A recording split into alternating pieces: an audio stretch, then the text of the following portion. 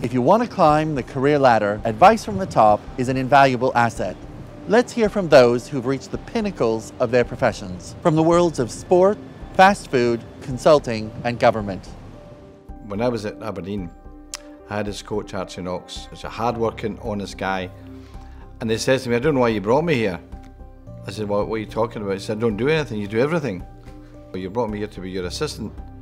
You should not be in the middle of a training session and I'm standing at the sidelines. It should be all the way about. He says, you, you should be uh, supervising, watching from the side. So I said, um, let me think about it.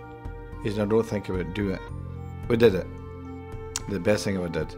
Because observation is this. It's not so much what you see all the time, it's what you can miss. And I think for any anyone getting waiting in business, they should think about that having a look around them. Don't close your, don't have your head down all the time.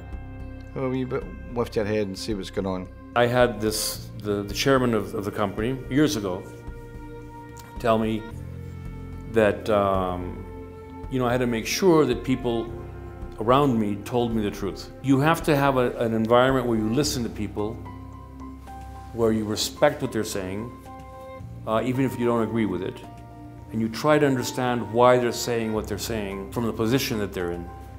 And I think all of our mistakes, the big mistakes, are because we don't know really what's going on. And, you know, basically decisions are all about risk.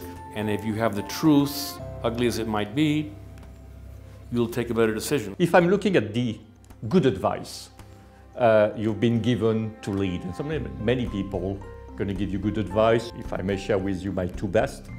The first one, probably my very best, coming from my mother, uh, who's been my best coach, probably uh, for all my life.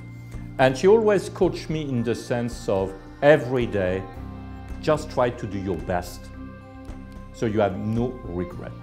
The other one was from my predecessor, Bill Green, uh, when he passed the baton to me. He said, you need to lead with confidence by no arrogance.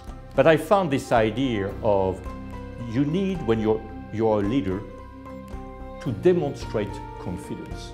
You know, I early in my career received the advice if you make a mistake, own it, uh, accept it, apologize for it. Everybody makes mistakes. People understand that. I was given that advice early in my career. I've made many mistakes over the course of my career, and I harken back to that advice. So learn from what you hear, but also think carefully about what you're not hearing and seeing. Listen to others, including those who are critical. Do your best, but own your mistakes and try to fix them.